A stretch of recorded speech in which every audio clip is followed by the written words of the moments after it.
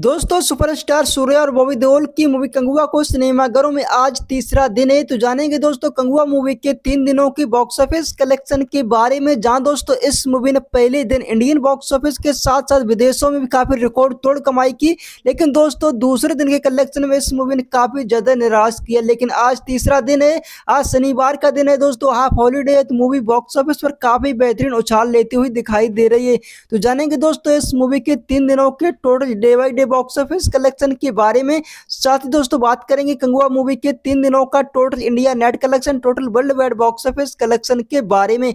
तो चलिए दोस्तों, शुरुआत कर लेते हैं इस वीडियो को। आप लोगों से रिक्वेस्ट है वीडियो को लाइक करें चैनल को सब्सक्राइब ज़रूर कर लें। भाई दोस्तों, बात की जाए इस मूवी के बारे में तो इस मूवी को जहाँ शिवा के डायरेक्शन बनाया गया था, वही दोस्तों मूवी का बजट है तीन करोड़ रुपए। इस मूवी को जहाँ इंडिया के अंदर पाँच स्क्रीन मिले थे, वही दोस्तों कंगुआ मूवी को total world wide box office पर नौ स्क्रीन पर रिलीज़ किया गया वही दोस्तों, बात की जाए इस मूवी के स्टार कास्ट के बारे में तो इस मूवी में जहाँ सुपरस्टार सूर्या, बॉबी देओल, दिशा पाटनी अहम किरदार नज़र आए थे। वही दोस्तों, बात की जाए इस मूवी के बॉक्स ऑफ़िस कलेक्शन के बारे में तो इस मूवी ने जहाँ पहले दिन इंडिया से नेट कमाई की छब्बीस करोड़ बत्तीस लाख रुपए की तो इस मूवी के पहले दिन का world wide box office collection अट्ठावन करोड़ बासठ लाख रुपए का रहा था।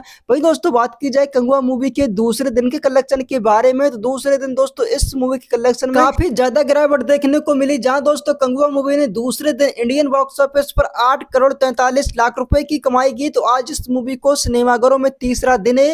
वही दोस्तों, आज शनिवार का दिन है। तो मूवी के कलेक्शन में थोड़ी सी उछाल देखने को मिल रही है। ये मूवी आज तीसरे दिन इंडियन बॉक्स ऑफ़िस पर ग्यारह करोड़ रुपए की कमाई कर रही है। इसी के साथ दोस्तों कंगुआ मूवी के तीन दिनों का टोटल इंडिया से नेट कलेक्शन हो चुका है पैंतालीस करोड़ पचहत्तर लाख रुपए का।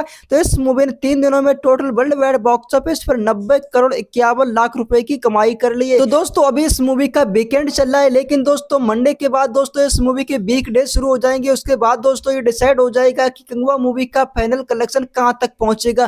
क्योंकि दोस्तों, इस मूवी का बजट है वो काफ़ी ज़्यादा है, लेकिन दोस्तों मूवी बॉक्स ऑफ़िस पर उस तरह का कलेक्शन नहीं कर रही है, जिस तरह की दोस्तों, इस मूवी से उम्मीदें थी। लेकिन दोस्तों, अगर आप लोगों ने कंगुआ मूवी को देखा है, आपको ये मूवी कैसी लगे? कमेंट बॉक्स में ज़रूर बताए। दोस्तों, आपके हिसाब से इस मूवी का फाइनल कलेक्शन कहाँ तक पहुंचेगा? बताइए दोस्तों, मिलते हैं किसी नेक्स्ट वीडियो में नई अपडेट के साथ। तब तक के लिए दोस्तों, आप सभी लोगों को दिल से धन्यवाद।